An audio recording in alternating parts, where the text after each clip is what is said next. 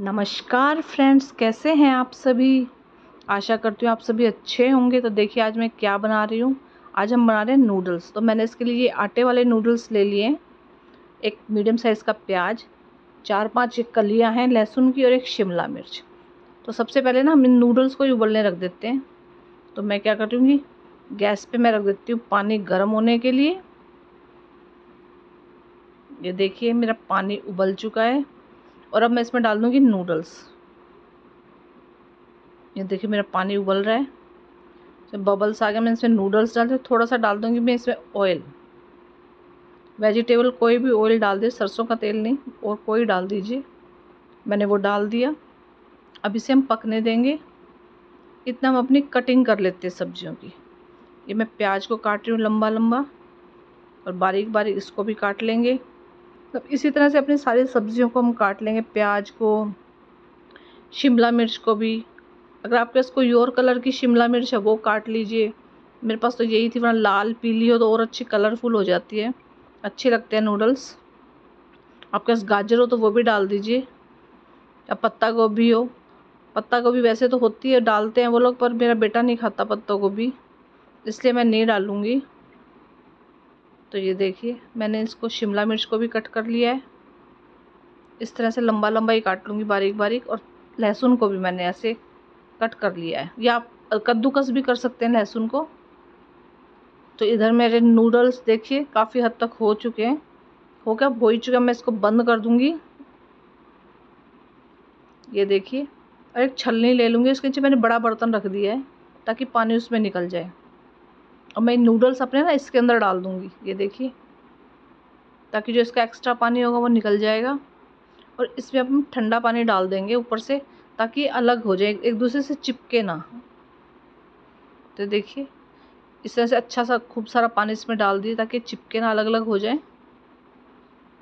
चलो इतना इसका पानी निकल रहा है अच्छी तरह से, इतने हम अपना और काम कर लेते हैं। तो मैंने रख दिया कढ़ाई गैस के ऊपर। ये देखिए।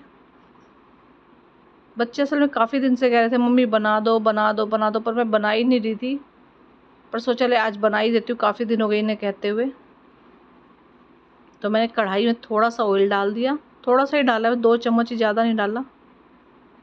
और अब मैं सबसे पहले इसमें गार्लिक को डाल लूँगी, क्योंकि मैंने अच्छा सारा लहसन डाला है इसमें। बड़ी अच्छी खुशबू आएगी इसे बिल्कुल नहीं पकाना। मैं हल्का हल्का कच्चा सा रखना है कि जब खाएँगे ना, मुँह में आएगा। टेस्टी लगता है ये। ये देखिए, अब मैं डाल दूँगी इसमें प्याज। प्याज को भी एक दो मिनट के लिए ही हमें रोस्ट करना है। मतलब सब्जियों को ना हल्का हल्का रोस्ट करना कि जब इसमें थोड़ी कच्ची कच्ची सब्ज़ियाँ अच्छी लगती है, क्रंच सा सब्जियों का। अब मैंने शिमला मिर्च भी डाल दी अपनी। ये देखिए मैं थोड़ा सा नमक डाल दूँगी। थोड़ा सा डाल दूँगी। नॉर्मल नमक जो हम यूज़ करते हैं, वही। अब दो मिनट के लिए इसे रोस्ट कर लूँगी, ये देखिए।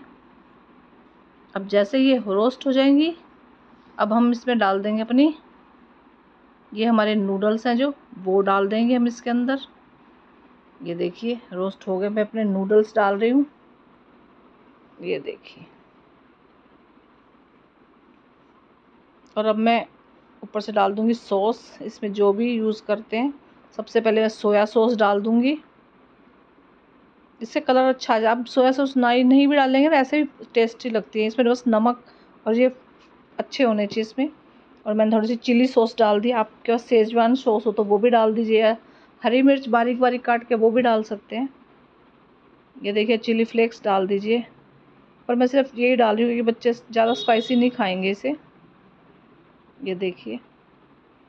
सोया सॉस डाल दिया और मैंने थोड़ा सा अजीनो मोटो डाल दिया है। और अपना थोड़ा सा नॉर्मल नमक। इन सबको मैं अच्छी तरह से मिला लेती हूँ। और थोड़ा सा मैं डाल दूँगी सिरका। मैंने अब इस वक्त सिरका डाला है। इसको फिर से एक दो बार मैं अच्छी तरह से मिला लूँगी ताकि वो भी अच्छी तरह से मिल जाए इसमें। और ये देखिए, हमारी हो चुकी है नूडल्स तैयार। इसमें और भी वेज डाल सकते हैं वेज नूडल्स बना रहे हैं तो मटर भी डाल दीजिए चाहे। तो मैंने एक बार खाई थी, वहाँ पे ना सोयाबीन के चंक भी डाल रखे थे इसमें। वो भी बड़ी टेस्टी लग रही थी। छोटे छोटे चंक थे वो, भिगो के पानी में इस तरह से। तो आप भी इस तरह से बनाइए और खाइए। अगर आपको मेरी वीडियो अच्छी लगती है तो लाइक शेयर और सब्सक्राइब करिए और कमेंट भी करिए। कैसी लगती?